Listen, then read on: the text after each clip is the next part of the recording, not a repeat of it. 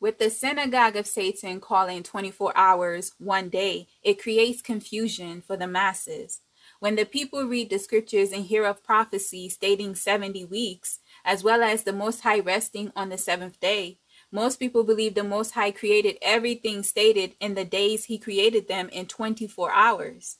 One day is actually a thousand years of our time. The synagogue of Satan called 1,000 years millennium Israelites, can you see how the Satans distorted everything? Israelites, 24 hours is not even a second with the Most High. What we refer to as one week in eternity, where the Most High dwell, that is 70 years.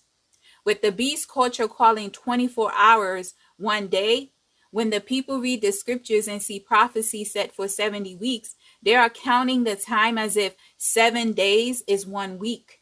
70 weeks in the Most High's time is 490 years for us. Israelites, that is how so many people are miscalculating time. It's important for us to look for the signs of the times.